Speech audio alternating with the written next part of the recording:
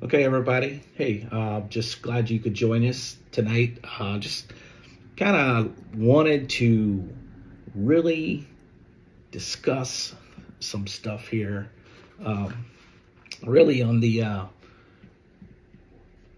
the topic of tithing, and uh, I, I am just amazingly uh, sick at these folks throwing around names of, of, of people that uh, they want you to respect when these guys are lying. They are telling a lie. All liars, the Bible says in my book, in Revelation, says all liars shall have their part in the lake which burneth with fire and brimstone. Uh, these folks that talk about tithing and and they want to twist the scripture they want to bring in things and they want to act like that this is something that uh, you know they they're they're smooth. They're they're smooth cats. Um, and there is other other uh, uh, many others. And uh, you you can I'm not gonna I'm not gonna play these tonight. I'm not gonna go into all these but I am going to uh, kind of challenge the the fact that the leader of the UPCI David Bernard talks about it, and you can see him wiggling all around here. He is nothing concrete about paying tithes. He is assuming, he's making assumptions that he himself, in other areas of, of belief in the scripture, would tear you apart for making those same assumptions that he is making on tithing. And I just want you to notice that. Um, but anyhow, I want to promote our, our next Sunday, uh, God willing, uh, uh, message Death by a Thousand Cuts. Uh, we're going to be talking about Song of Solomon. Uh, we're going to be talking about those those little things that that that will lead you away from Jesus and holes in your cisterns. Um, when a lot of people are, are, are, going to church, they're they're getting getting things from what they think is from God, and they're they're coming back home, and and by Monday they're back in to watching porn, they're back into doing the things that they did before because there's no power in those things. They are not given to Jesus, but they've given themselves over to man, and man will never be able to do what the Holy Ghost, what God's Spirit can help you do. Uh, they will lead you to that. And we are going to be talking about the seeds, the sowing of the seeds. And, and we, we got a little teaser out there talking about the, the foul smell in your garden. And uh, stay tuned for that. And I hope you guys, uh, those of you that, that have been listening, and I hope you uh, share these messages with others. We hope to help. And uh, anyhow, let's let's let's let's get people educated. Let's get people understanding that church is not salvation. And most of these uh, false prophets false preachers false deceiving liars are trying to deceive you. They are smooth. They have had years of experience with this. They have had generations actually uh, to to smooth over messages and, and, and, and bring in the right things. They study for this. They go to theology. They go to to learn to preach. And, and, and they they will be able to to manipulate the truth of God's word into a lie. And, and and Jesus talked about it so much. And and I mentioned to you guys that, you know, Joyce Myers, you got uh, uh, what's what's his name, uh, the, the big preacher. Um, I can't believe I, I just forgot about it. But many of these preachers, they they'll grab scriptures and they'll they'll bring talk about these scriptures. They'll quote scriptures. They'll leave out scriptures, and and and they'll all to try to tell you about tithing and how oh God will bless you and and if you give, God will give back and shake and shake and and and, and multiply to you and and and to give to you again and and and they'll they'll tell you the stories about tithing and and you know how how uh, Abraham gave to Melchizedek, and and they'll they'll they'll go to Malachi three eight ten. They'll they'll they'll tell you how you're robbing God. You know these these liars are manipulating people. They know they're they're talking about. Oh, well, you know how I'll let I'll let Mr. Bernard uh, lie to you here a bit. Uh, so let's let's let's go over there. I'm gonna I'm gonna play a little bit of this right now. Uh, just just watch this, and I'll, I'll make comments. People not only giving in sacrifice and offerings from the very beginning, but having a specific system of tithing. Now, in the New Testament, uh, there is no new system instituted. There's no statement that we're abolishing the 10%, now it's going to be 7.5% or 15% or whatever you can do. In fact, Jesus just assumed people would continue to pay tithes. In Matthew 23, he talked. Now, isn't that funny? Now, Jesus just assumed. Does that sound like Jesus to you? In any stretch of the imagination, would Jesus just assume? Now, now that that is that is a joke. That that really should be in the comedy club. That Jesus just assumed that you, and how do you know that, Mr. Bernard? How do you know Jesus just assumed that? No, you're wrong, Mr. Bernard, because there is a new and living way. The old law is done away with. That's what the Bible says. That's scripture. You cannot get by with that. You cannot, that is a lie that you just said. Jesus assumed that that, that would just continue. No, Jesus said that's the end. It is finished. The old law is finished. Today, today, the old law is finished. You cannot assume, Mr. Mr. Mr. Bernard, that Jesus did not assume. Jesus would not assume. You you can't just just say that. That is wrong. You're lying. That is a lie. You are manipulating truth. You are trying to make people believe something out of context just for your benefit and your organizational gain, for your paycheck, for your lifestyle, your livelihood, and all those that support you and you support them, mano a mano. Yes, that is exactly what you're doing there. The Jewish leaders, he said, you know, it's good that you pay tithes. You're, you're so uh, precise, you even pay tithes on the mint in your garden. So we would expect everybody if Okay, that that is a lie. Jesus did not say you're so precise that you even paid tithes on the mint in your garden. He said nothing about a garden. he was talking about herbs, okay? He did not specify a garden, and, and he, he they're so precise. He did not say anything about precise. He was talking about they did these things. Now we know that just because Jesus spoke about something didn't mean that he condoned it. We he didn't approve it. That did not mean that. Mr. Bernard is assuming a whole lot of things here for a man of his stature and at his level in an organization that claims truth. So this none of this, none of these arguments, none of these these uh, statements Mr. Bernard is saying here would ever hold up scrutiny against anything that he in these other areas believes. So he's just pulling the wool over somebody's eyes, everybody if he can. He's being a wolf in sheep's clothing. He is mad at this. He is mad. He is out of his mind to set here, a man of his stature, to continually talk this garbage.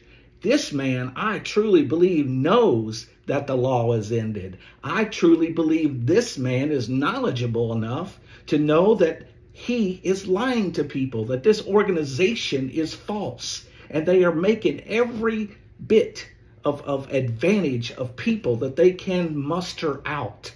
That's what I feel that this man is doing. That is not the Holy Ghost. That man is not portraying love for people. He is after benefit. He is after a benefactor. He is after lifting this organization and man's kingdom. Let's go on a little bit. Farmer, and you raise wheat and you gather in the harvest then you should pay tithes on all your wheat. But many people might think, well, I'm growing a few um, little, I you know have a little vegetable garden. Okay, I'll pay tithes on my vegetables, but I'm growing some mint for you know flavor for my food. So very few people would think, well, if I pick off 10 leaves of the mint, I should set aside one, give it to, to the priest or something. Most people would even think that. But Jesus told these religious leaders, you are so meticulous about keeping the law that you even pay tithes of the mint in your garden. Now, Jesus didn't say, how ridiculous. He said, you should do that. But. Another lie. Jesus did not say you should do that. Who was he talking to? He was talking about the law, performing the law. He was talking about them obeying the law in general. You do these things, but you're missing the spirit of love, is exactly what Jesus was speaking to the scribes and, and the Pharisees about. He was not focusing on tithes as Mr. Bernard tries to make you believe and he's reaching as far as he can to try and make you feel that it's all about tithes here, and this is the uh, the the accepting of Jesus to move tithes on through over to the grace period. And Mr. Bernard will even talk about that grace period, and he'll backtrack. Watch, it's coming here. It's coming because because something about it just seems wrong to him because he's he's you know I think something's going on here. It's it's hard to lie and tell the truth and and, and, and mix those things. And, and and somehow, some way, God somehow brings it out and kind of kind of exposes them. And and I think it's interesting, and you'll see that coming up here. But just just just check this out. But see, Jesus taught in the synagogues. Did he approve synagogues? No, he didn't. He had not many, I don't even know of anything that he had good to say about the synagogues and those in it. He went there to, to talk because there was people there. He did not approve a church building. Nowhere in the scripture will you see where Jesus approved a church building. As a matter of fact, when he did talk about a building, when when when the disciples said, "Look at look at the great buildings," Jesus told them right off, "Not one stone is going to be left about on another." Yes, was he prophesying physically? Yes, but he was also he said, My church, the gates of hell will not prevail against it. He was not talking about a physical church. Because if Jesus was talking about a physical church, those gates of hell today, there would be a church in Jerusalem right now under the name of Jesus Christ. It would have never ceased because the gates of hell would never be able to tumble it. But that wasn't what he was talking about. And not many people uh, in, in any theology will will tell you that he was talking about a physical church. And and so when you look at those things, they twist it. They twist the scriptures to to get you to to believe these things. And they feel like if they say it enough, and it's just like the news, if they say it enough, you'll start believing it. And you know, you, these folks, uh, the subservient to those men will, will constantly keep reiterating those same lies that they tell. Let's go on. More important, you're neglecting justice and mercy. And so he's saying, if you're so meticulous of even the least detail, how much more should you be meticulous in the bigger moral he issues? Wasn't, he wasn't but approving. interestingly, he was not Jesus approving. did not say paying tithes is wrong or legalistic. He's saying you pay tithes to the nth degree. I commend you for that. You should do that. But they're much bigger things. Then if you read Notice how he emphasizes the tithe. The emphasis of this whole conversation had nothing to do with tithes. Had nothing to do with tithes. He was just making a point. And in the point that he was making was that they had no compassion. They took advantage of people. They put heavy burdens. Oh, as Mr. Bernard would say in many other speakings and and and and, and thoughts, he would say, "Oh, you got to back up and look at the whole context." Oh, Don't ask me. You go look at some of his other stuff. Listen to some of his other stuff. He will back way out and say, oh, no, context. But when it fits his purpose, he will just get right down to the detail, and nobody's supposed to back up and look at anything else because Jesus was only talking about tithes here because that's the topic he wants you to believe. This is where he wants to bring money. He wants to be that benefactor. That organization must be that benefactor. So this man is lying to you. He is being disingenuous, as they say it, in a polite manner of saying, you're going to lie and you're going to go to hell. So here we go. Let's talk a little bit. Let's let him let him dig himself a little deeper here. Corinthians chapter 8, first, first Corinthians chapter 9, and there are other passages, but the Apostle Paul goes to great length to talk about we should support the church. We should support needy Christians. We should support preachers. Those who, who preach the gospel have a right to live of the gospel. They have a right to be supported. Okay, now he's talking about rights. I have a right. Where does Jesus say anything about anyone ever having a right to anything material on this earth? Can you match me something up? Can you match one thing that Jesus said or ever meant? Meant to say, or even the spirit of flow of where he said that you would gain. I'm pretty sure he said you would be hated of all men for my name's sake. Many of you would be put to death. What happened to all the disciples? Except for John. Most of them suffered a martyrdom. They were martyrs for Jesus' name. Nobody growed a big mansion. No one fared well in the end. Their heads were chopped off. Peter, they were sliced in half. And Jesus even told them, these are the things that are going to happen to those. He said, if you love the world or the things in the world, the love of the Father is not in you. But this man is twisting the scripture, saying, hey, we got to take good care, especially those of the household of faith. And this is what the Lord meant. No, he didn't mean any of that. He did not mean any of that. And, and, and, the, and if you're going to give, it's by giving, not by constraint, the New Testament scripture says. I don't hear him saying that one because it doesn't fit his narrative to lie about tithing. Tithing never jumped into grace. None of the old law jumped into grace. And people say, oh, the Ten Commandments. Well, let me tell you something. I can go to a couple scriptures and show you 26 commandments that way outdo in strictness the Ten Commandments. Jesus said, no longer do you have to be caught in the act of adultery, but if you think of a woman, if you think of adultery in your mind, you have sinned. So let me tell you about the Ten Commandments. They are old. Amen. Acts 15. Amen. Peter said that, that the law that we nor our fathers was able to do it. And, and, and so you go read your scripture because this man is a liar. He is lying on this. We have proof right here in video. Well, how is that going to happen? If our preachers and our pastors particularly should be supported by the gospel work, how, how do we do that? Well, the New Testament doesn't give any new method. Oh, so since it doesn't give any new method, it couldn't be that it's abolished with the old law, right?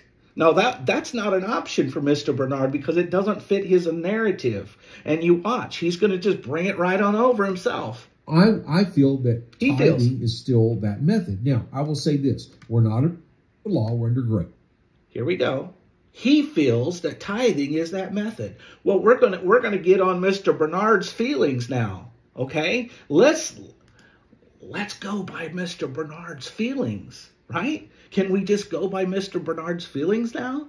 Can we get salvation out of Mr. Bernard's feelings? He feels it. Well, let's just do it because he feels it. Must be right, yeah? Okay, and here he goes. Here, here. Oh, a little bit of truth comes out here, but you got to bring in some truth so people will, will still listen to you, okay? So let's back up just a hair and listen to this little well, the New Testament doesn't give any new method. Mm. So I, I feel that tithing is still that method. Now, I will say this. We're not under the law. We're under grace. Whoa. Now you're getting some truth out. Now, now he's getting some truth out. We're not under the law. We're under grace. Here we go. I don't say that all the detailed um, instructions that you might find in the law of Moses. Okay, here we go. Remember, you know, man, I've heard this preached for, for 20 plus years. Okay. You don't get to pick the things you want to choose out of the Bible. But here, Mr. Bernard's going to, by, by example, show you you can pick it. So here he goes. Uh, regarding tithing, would necessarily tithing, first fruits, offerings. I don't think we're bound by those specific regulations. And I wouldn't say, well, if you don't do this, you're going to hell. Or if you miscalculate your tithes, you're going to hell. Or you didn't pay tithes on the mint in your garden, you're going to hell. Let's get away from that legalistic orientation. So I don't really want to go to that topic because, you know, I, I can't I can't say you're going to go to hell because you don't have any scripture for any of it, really. That's why you can't say it. But but let's let's get away from that. Let's get away from what God says and what, what we can prove in God's word. Let's get away from that for a minute. Now now watch how he just diverts right over to man and his own beneficial surmisings. But let's go from the opposite side. We know God wants us to give. And 1 Corinthians 8, 1 Corinthians 9, other passages talk about giving generously twisting the scripture. Let's see if he talks about don't give by constraint because if you got to pay your tithes, that is definitely law and that is constraint. If you're under the law, you are constrained to do it. So so let's let's let's continue to hear him lie and talk you know man's philosophy here. This is man's philosophy, exactly what the Bible says don't listen to. Giving as God enables you, a giving according to your ability.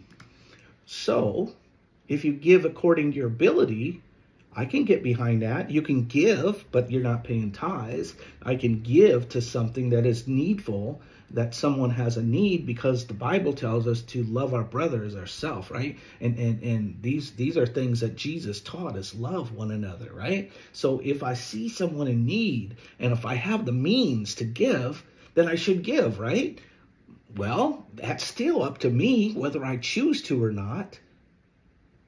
But you would think that if I had a, a loving heart that God gave me, I would probably want to do that. So, but that's still my choice. And I would only give if I had it to give. I wouldn't would not pay something else unless I felt the Holy Ghost tell me to do it. Then I could trust in that. But I would be sure. That indicates it should be tied to your income in some way. Now, what's going to be fair for everyone? An absolute dollar amount would be ridiculously small for very successful people, but uh, unbearably large for people who are struggling. So, just by looking at the principles of the New Testament, we should give generously. We should give according to how God has blessed us. So let's let's let's figure out salvation just just by looking at the principles. Isn't that why we have 45,000 denominations today? It's because just by the principles, my principle is not always going to be your principle. My main concern isn't going to be your main concern. So let's just all figure it out on our own. Forget if the Bible says it or not. Let's just assume that, hey, well, I think it would just come on over. Well, let's just preach it. Yeah, as an organization, that's what UPCI decided to do. They decided to make you do it.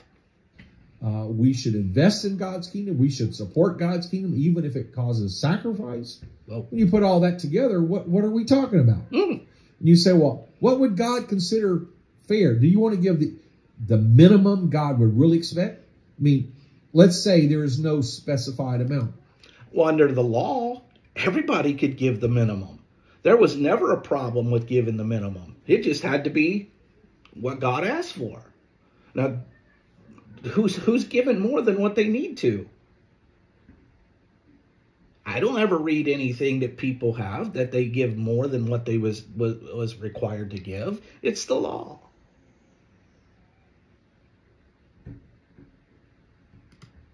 Do you want to give so little that God thinks you're stingy? Whoa, Whoa, here we go. Here, here's here's that bleed over for man and their benefit. Okay, you God thinks you're stingy. Wow, do you want to give so little? Do you do you want to just give ten dollars in the offering plate when you could give a hundred dollars to that pastor and, and help him pay an extra car payment? Do do you want to just you know, God needs that. Is that is that all you're going to do for God? Really? These are fake wolves in sheep's clothing. This is as evil as it gets in this generation. And people think this man is great. I think so. He, he says, give generously. So how do you know? How do we know what God thinks? Well, interesting that you ask. Under the Old Testament, the law was a schoolmaster to lead us to Christ. It was a. Whoa.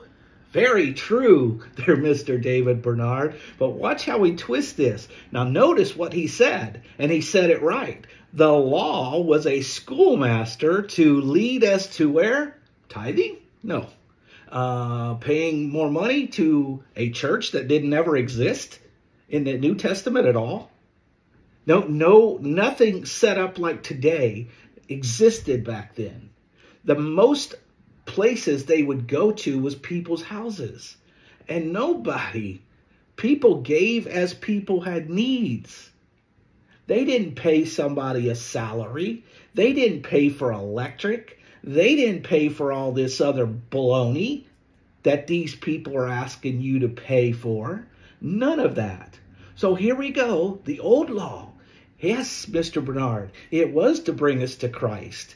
And the Bible says the law, Jesus Christ was the end of the law.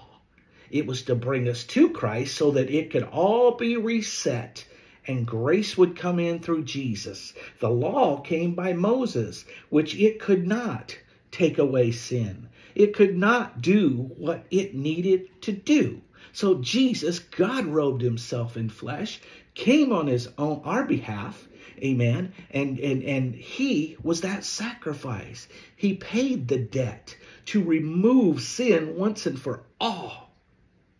He died once and for all. He was that sacrifice. And yet, Mr. Bernard's about to tell you that the schoolmaster to bring us to Christ, and now what he's trying to do is pull over that old law back into the grace where Jesus said we now have a new. What does new mean? New and living way. A new and living way. See, this is the problem with these false teachers, these false people that have been able to skate so easily because of who they are. You see, all this stuff here is baloney that he is talking about. All this stuff is baloney. And and and but you know what? People don't want to believe it's baloney. Uh-uh. They do not want to believe it's baloney. But I'm going to show you here. Let me let me show you something here. Let's throw something right on over here right now. So what does this say? Acts 15. And this, and I'll just let's let's back it up just a hair. Okay? And and let's let's go to right here. You ready? Let's see there. And when there had been much disputing, now here's here's what was in question here question here in the book of Acts. It was all about the law. This is what was being in question. You see, this was all about the law. There was just this uproar that the Gentiles just received the Holy Ghost, and, and you had these people that were of the sect of Pharisees that have become disciples now. They were converted. They were on the team of the knowledge of the disciples. They were there that day. They said, hey, listen, these guys got to get baptized and um, these guys have to get circumcised. And they have to abide by the law. And Peter rose up, the Bible says, in verse 7 here, right?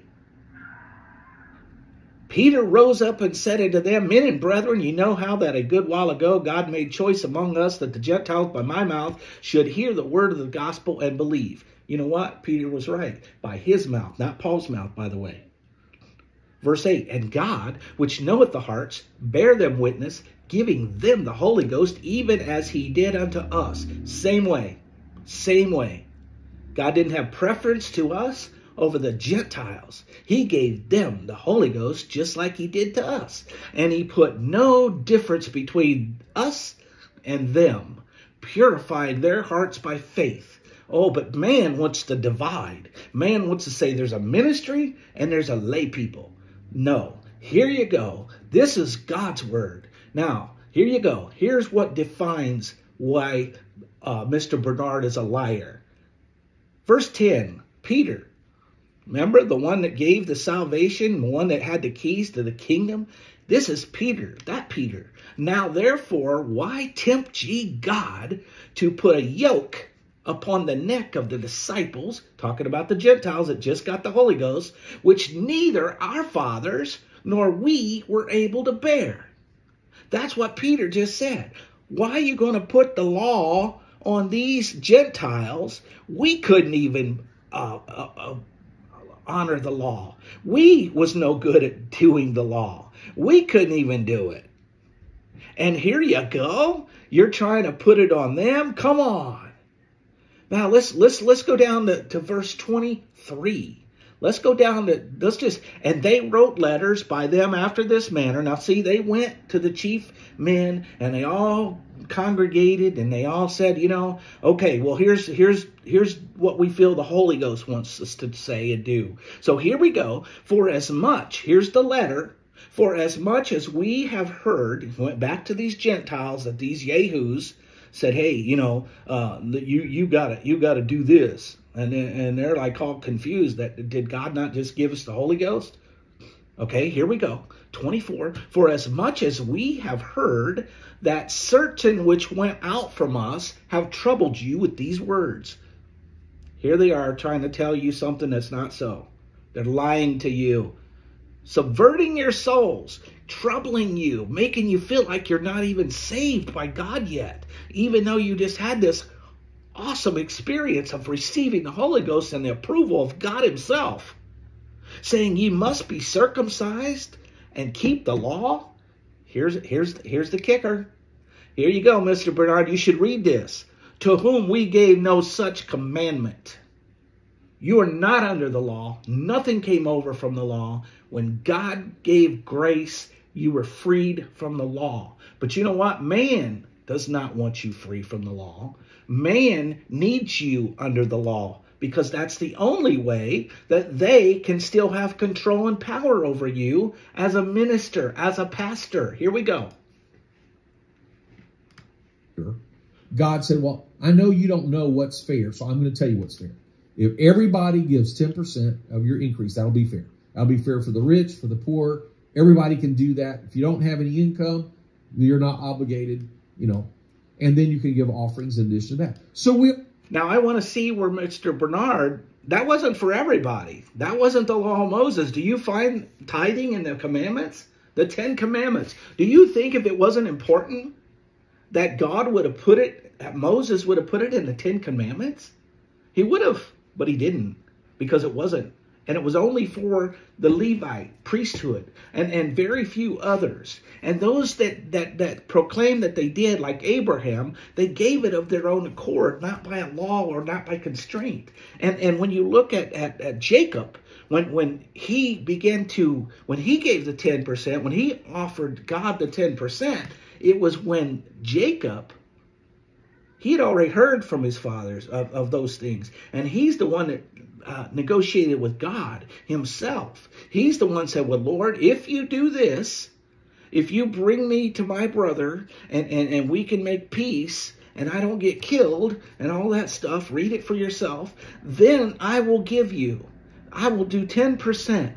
I will do this. It had nothing to do with a law or const- uh, constraint.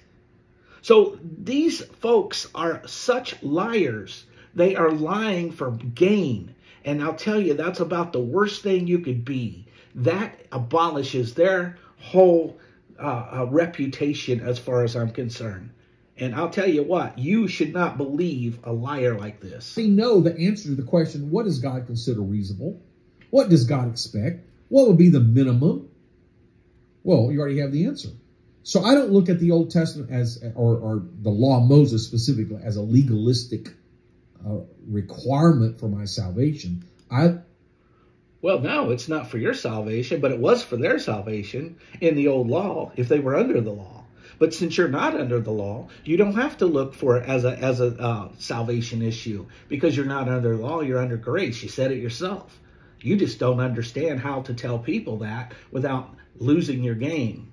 Look at teaching me, and long before the law of Moses, we're children of Abraham. Both Jesus and Paul talked about children of Abraham, and we're children of Abraham by faith.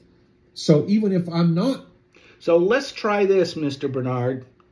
Why don't you exercise some faith in your organization that God's going to just give you the money and not preach people giving you tithes. Why don't you go by that faith that Abraham went by?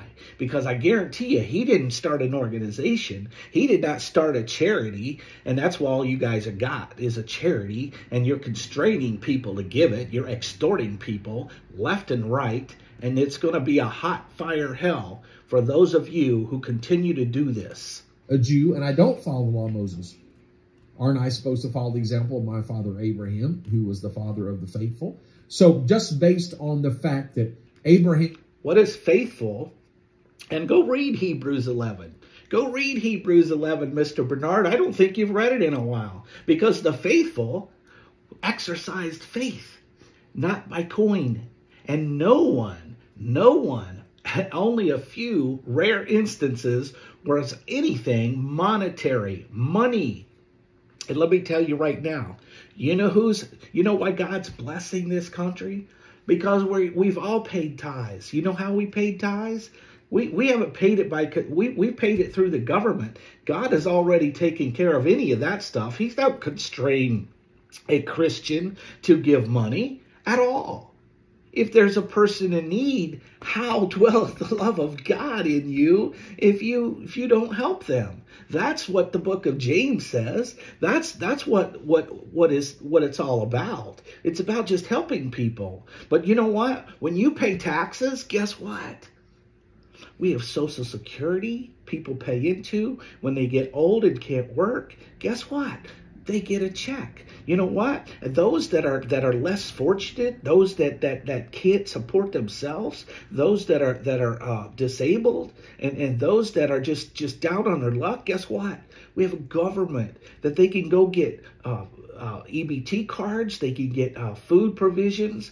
There are there are places that they can go get food, and and and people like you and I will will just if we see a need, we want to give if we have it. So so we don't have no constraint of paying tithes. This is all an organization. This is all about religion and building their man's kingdom for their, their lapels, just like Jesus said in, in, in chapter 23 of Matthew. And, and, and oh, how they like to enlarge their borders. They like to put the insignia, how great they are and how, how they've led this. And oh, I've we've preached to 5,000 over here in Africa. And we went over here and we did that. It's all about them. It has nothing to do about Jesus.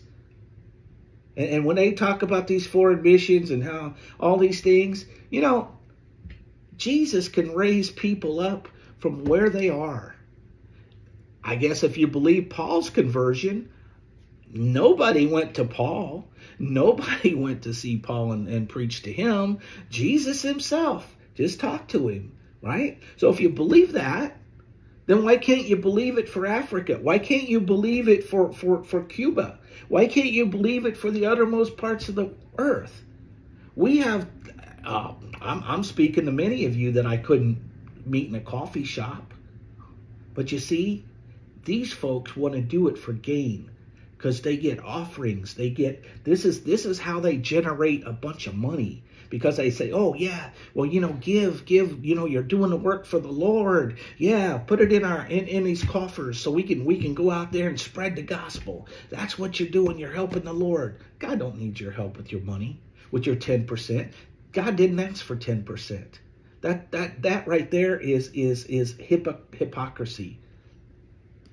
Did it uh, before the law. Jacob did it before the law. Moses did it under the law. Jesus commended it in his earth Jesus did not commend it. ministry. Paul said you've got to be generous even after the law. Boy, he's reaching, isn't he? Well, is generous giving even less than what was required of the law? I heard, It's giving to every, of, of, according to your severability. Look at the talents. Why don't you read the parable of the talents, Mr. Bernard?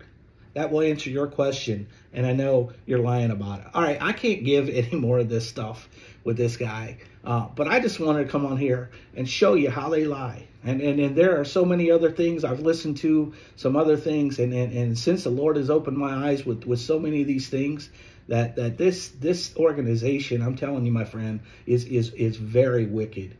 Wicked in the fact that you know every every religion has some things that they got right about the Bible, about Jesus, what he said.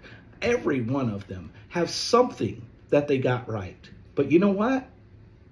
That doesn't make them all right. And that's the same way with UPCI. They put all the power under a minister, under a, a pastor, and you cannot be, you cannot be saved. And then there's one on here talking about, do I need a pastor? And he lies about that too. He's got no biblical backing on that. And, and you know what? By the same standard of the canon to get books in the Bible, the 66 books that's in the in the bounds of, of what we call the Bible today, these doctrines, these teachings, these heresies, these lies could not hold up to be put in the Bible on their own. These would not even hold up. So I'm telling you, my friend, be careful. Find the Holy Ghost. Seek God. Let God be true. And these men a liar that they are. In Jesus' name, amen.